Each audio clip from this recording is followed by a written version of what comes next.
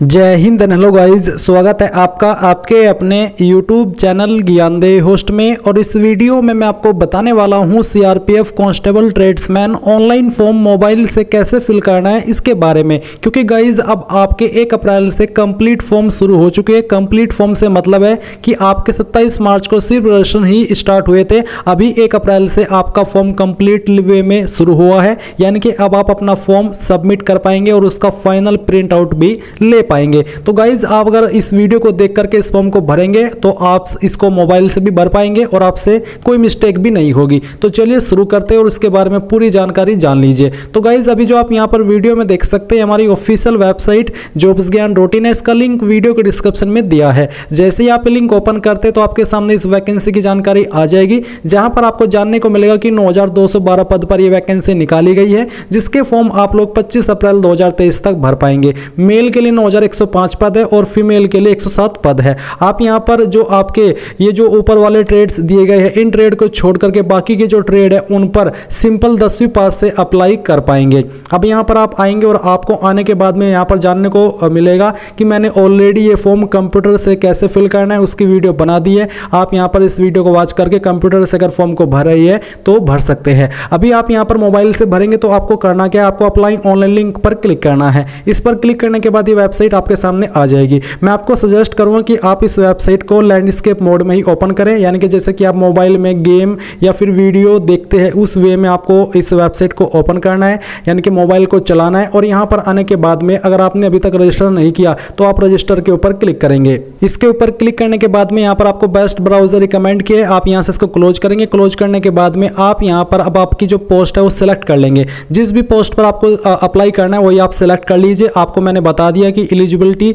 की क्या है और कौन सी पोस्ट पर क्या क्वालिफिकेशन चाहिए होगी। जैसे कि जो वाटर कैरियर की पोस्ट है, इस पर आप दसवीं पास से अप्लाई कर सकते हैं, कोई एक्सपीरियंस नहीं मांगा, बस आपको वाटर कैरियर के जो काम है वो आने चाहिए। जैसे कि आप, मैं इसको सिलेक्ट किया हूँ, अब आप ये सिलेक्ट करने के बाद में आपका जो नाम है, वो पूरा नाम आप यहाँ पर टेंथ के सर्टिफिकेट के अकॉर्डिंग एंटर करेंगे। फिर आपको यहाँ पर आपका नंबर एंटर करना है, आपका नंबर बिल्कुल सही होना चाहिए एंड ये नंबर दोबारा डाल करके आप वेरीफाई करेंगे। अल्टरनेट मोबाइल नंबर के अंदर आप कोई अन्य नंबर देना चाहते हैं, आपके फ़ोन का वो आप दे सकते हैं, नहीं तो आप चाहे तो इस ऑप्शन को खाली भी छोड़ सकते हैं। फिर आपको अपनी ईमेल आईडी एंटर करनी है, ईमेल आईडी को भी दोबारा डाल करके वेरीफाई करना है। ये ईमेल आईडी भी आपकी करेक्ट होनी चाहिए, क्योंकि आपको आगे चल करके एडमिट कार्ड की जानकारी इसी ईमेल और नंबर पर सेंड की जाएगी। अब यहाँ पर आप डिक्लेरेशन में आएँगे और एग्री पर क्लिक करेंगे। ये जो कैप्चा कोड है, वो आप यहाँ पर फिल करेंगे और रीवेरीफाई पर क्लिक करेंगे।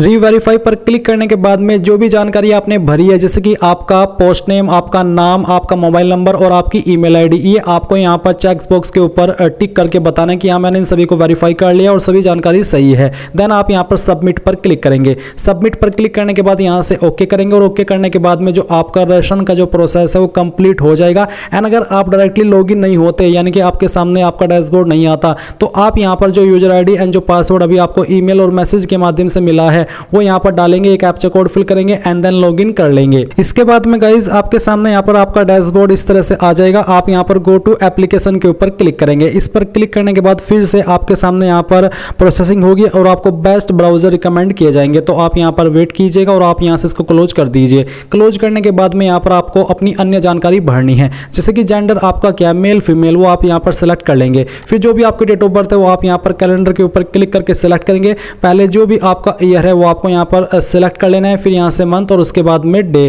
तो आपकी डेट ऑफ़ बर्थ आ जाएगी और आपकी उम्र एक आठ दो तक कितने साल, कितने महीने की होती है, वो भी आप यहाँ पर देख सकते हैं। नेशनलिटी में आप a citizen of India select कर लेंगे एंड देन यहाँ पर रिजर्वेशन कैटेगरी यानी कि कास्ट कैटेगरी आपकी कौन सी है? जनरल है तो यू आर सेलेक्ट कीजिए E W S E W S और ओबीसी है ओबीसी जनरल ओबीसी और ई डब्ल्यू एस को यहाँ पर सौ रुपये फ़ीस पे करनी है एस सी एस टी के लिए कोई फ़ीस नहीं है। तो चलिए मैं यहाँ पर इस फॉर्म को डेमो के लिए भरा हूँ तो मैं यहाँ पर एस सी सेलेक्ट कर लेता हूँ, ताकि मुझे कोई फ़ीस पे करने की आवश्यकता न पड़े, और मैं आपको पूरा प्रोसेस दिखा सकूँ। अब आप यहाँ पर जो आपकी पर्सनल डिटेल है, वो एंटर करेंगे। तो जो भी आपके फादर का नेम है, वो आप टेंथ के सर्टिफिकेट के अकॉर्डिंग ही एंटर कीजिएगा एंड देन जो आपकी मदर्स का नेम है, वो भी आप यहाँ पर एंटर कर दीजिए। देन गाइज़ यहाँ पर आपका नंबर और ईमेल आईडी दी गई है, आप इनको चेक करते हुए नीचे आएँगे और टेस्ट सिटी प्रेफरेंस देंगे। पहली चॉइस आप कौन से स्टेट को देना चाहते हैं? आपके एग्ज़ाम सेंटर के लिए। वो आपको सेलेक्ट करना है। उस स्टेट के कौन सी सिटी को आप प्रिफ्रेंस दे रहे हैं, वो आप यहाँ पर सेलेक्ट कर लीजिए। सेकंड चॉइस आप कौन से स्टेट को देना चाहते हैं, वो आप सेलेक्ट कर सकते हैं। आप तीनों में चाहे तो एक ही स्टेट सेलेक्ट कर सकते हैं।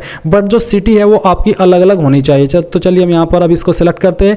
एंड यहाँ पर जो प्रीफरेंस है, उसको सिलेक्ट इस तरह से हम कर लेते हैं। ये देने के बाद में यहाँ पर आपसे पूछा कि क्या आप एक्स सर्विसमैन है? अगर हाँ तो यस नहीं तो नो कीजिए। एडिशनल डिटेल में आपसे पूछा कि क्या आप गवर्नमेंट सर्विस के अंदर हो गवर्नमेंट इंप्लॉई हो? अगर हाँ तो यस नहीं तो नो कीजिए। फिर आपसे ये पूछा कि क्या आप 2002 और जो आपका उन्नीस सौ चौरासी का दंगा हुआ था, उसके डिपेंडेंट है विक्टिम है? अगर हाँ तो यस नहीं तो आप नो कीजिए। देन गाइज़ आपको सेव एंड नेक्स्ट के ऊपर क्लिक करना है। अब यहाँ पर आपके सामने आती है आपके एड्रेस की जानकारी। तो जो आपका कोरस्पोंडेंस यानी कि प्रजेंट एड्रेस है वो एड्रेस आप यहाँ पर लाइन फ़र्स्ट और टू के अंदर पूरा लिख देंगे। इसके बाद आपकी कंट्री आप इंडिया सेलेक्ट कर लेंगे स्टेट आपकी जो भी है वो स्टेट आप यहाँ से सिलेक्ट करेंगे। फिर आपकी जो सिटी है या फिर डिस्ट्रिक्ट है वो कौन सी है वो भी आपको सिलेक्ट कर लेनी है एंड देन आप यहाँ पर आपका पिन कोड एंटर करेंगे। अब नीचे आपसे पूछा कि आपका परमानेंट एड्रेस और जो कोरस्पोंडेंस एड्रेस है यानी कि प्रजेंट एड्रेस है क्या वो सेम है क्या वो एक ही है? अगर हाँ तो आप यहाँ पर यस कीजिए। अगर अलग है तो आप नो कर, कर सकते हैं और अलग से अपना एड्रेस भर सकते हैं। अब आप नीचे आइए और यहाँ पर सेव एंड नेक्स्ट के ऊपर क्लिक कीजिए। अब गाइज़ आपके सामने यहाँ पर क्वालिफिकेशन का सेक्शन आ चुका है। यहाँ पर गाइज़ जो कैंडिडेट ऐसी पोस्ट पर अप्लाई कर रहे हैं जिस पर की एक्सपीरियंस मांगा है और आई मांगी है तो उनको यहाँ पर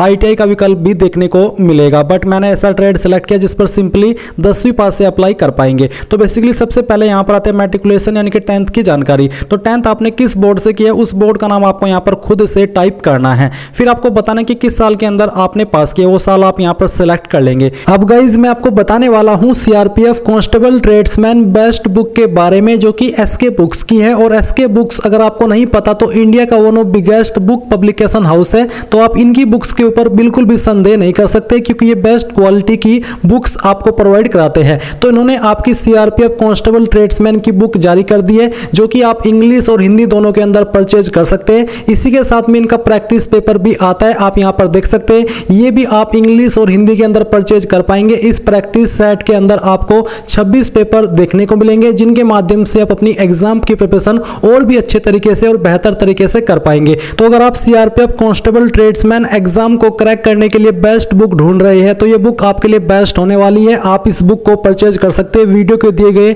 डिस्क्रिप्शन लिंक से।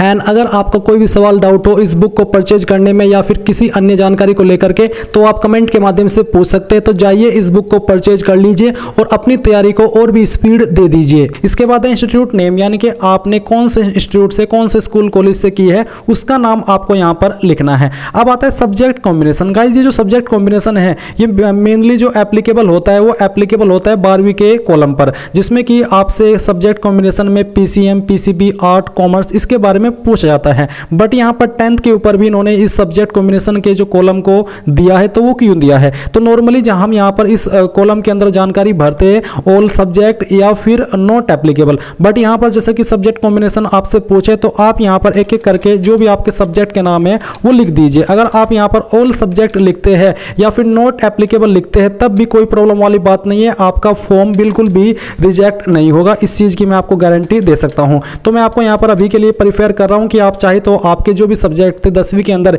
एक एक करके उन सभी सब्जेक्ट के नाम लिख दीजिए। चाहे वो पाँच सब्जेक्ट हो, चाहे फिर वो छः सब्जेक्ट हो। इसके बाद में यहाँ पर आती है परसेंटेज तो आपके नंबर किसके अंदर थे? परसेंटेज सी तो जिसके अंदर थे, वो आप यहाँ पर सिलेक्ट कर लीजिए। मेरे परसेंटेज है, मैंने परसेंटेज सिलेक्ट किया है।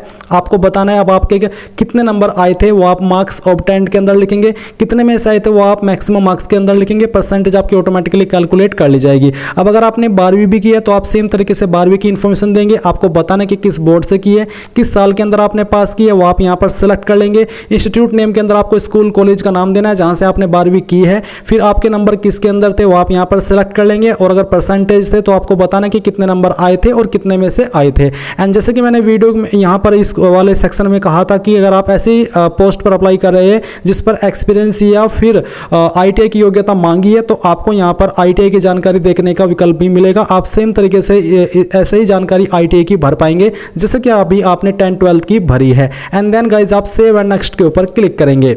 अब आपके सामने यहाँ पर गाइज़ जो डॉक्यूमेंट एंड पेमेंट का सेक्शन है, वो आ चुका है, जहाँ पर आपको पासपोर्ट साइज़ फ़ोटो सिग्नेचर ये अपलोड करना है। तो आप यहाँ पर क्लिक या टू अपलोड पर क्लिक करेंगे। इस पर क्लिक करने के बाद आप यहाँ पर देखेंगे कि आपके फ़ोटो का साइज़ पचास से सौ के बी फॉर्मेट जेपीईजी या फिर जेपीजी का रहना चाहिए। और अब आप यहाँ पर ब्राउज टू अपलोड पर क्लिक कीजिए। यहाँ पर भी आपकी फ़ोटो फ़ाइल है, वो आपको सिलेक्ट करनी है और इस तरह से आपको सिलेक्ट करके ओपन कर लेना है। तो आपका फ़ोटो यहाँ पर इस तरह से अपलोड हो जाएगा। अब आप यहाँ पर इसको क्लोज कर देंगे। क्लोज करने के बाद आप व्यू अपलोडेड फ़ोटो के ऊपर क्लिक करके इसको प्रीव्यू भी कर लेंगे। देन गाइज़ आपको सेम तरीके से आपका सिग्नेचर अपलोड करना है, जहाँ पर भी आपके सिग्नेचर की फ़ाइल है, वो आप सिलेक्ट करेंगे। एंड यहाँ से ओपन करके आप इस तरह से इसको अपलोड कर देंगे। फिर आपको यहाँ पर जो टेंथ का सर्टिफिकेट है, जो मार्कशीट है, वो अपलोड करनी है। इसका जो फॉर्मेट है, वो कैसा है, वो भी आप जान लीजिए। इसका फॉर्मेट पीडीएफ में भी है जेपीईजी में भी है और जेपीजी में। यानी कि इनमें से किसी में भी आप अपलोड कर पाएँगे। साइज़ 100 से एक एम के बीच में रहना चाहिए। तो ब्राउज टू अपलोड के ऊपर क्लिक कीजिए, जहाँ पर भी फाइलें सेलेक्ट कीजिए। एंड यहाँ से आप इसको क्लोज कर दीजिए। फिर यहाँ पर अगर आप एस सी कैंडिडेट है तो आप अपना कास्ट सर्टिफिकेट अपलोड करेंगे एंड इसके बाद में आप यहाँ पर आएँगे और आपको यहाँ पर डिक्लेरेशन के जो टिक करने को बोले हैं, ये आप यहाँ पर सभी के ऊपर टिक कर देंगे। इन सभी के ऊपर टिक करने के बाद में ये जो वेरिफिकेशन कोड है सिक्योरिटी कोड है, वो आप यहाँ पर डालेंगे और प्रीव्यू यानी कि आपने जो भी जानकारी भरी है, इन सभी को जाँच कर लेंगे कि हाँ सभी जानकारी सही है एंड देन आपको सबमिट पर क्लिक करना है। सबमिट पर क्लिक करने के बाद आप यहाँ पर देखेंगे your application form has been submitted successfully जो कैंडिडेट इस फॉर्म को जनरल ओबीसी से भर रहे हैं, उनको यहाँ पर इसके बाद में पेमेंट के पेज पर ट्रांसफ़र किया जाएगा। यानी कि जैसे आप सबमिट करते हैं तो आप पेमेंट के पेज पर पहले जाएँगे, जैसे ही फ़ीस जमा कर देंगे, उसी के बाद आप यहाँ पर आपके फॉर्म का फाइनल प्रिंट आउट ले पाएँगे। अगर आपके पास अभी प्रिंटर मौजूद नहीं है तो आप यहाँ पर प्रिंट के आइकन के ऊपर क्लिक करके इस फ़ाइल को पीडीएफ के रूप में सेव कर लीजिए अभी के लिए, और बाद में आप इसको प्रिंट करा लीजिएगा। तो गाइज़ इस प्रकार से आप लोग CRPF constable tradesman online form को मोबाइल से भर पाएँगे। आई होप ये प्रोसेस आपको पसंद आया होगा। कोई सवाल डाउट रह गया हो तो कमेंट के माध्यम से पूछ लीजिएगा। सो थैंक्स फॉर वॉचिंग जय हिंद।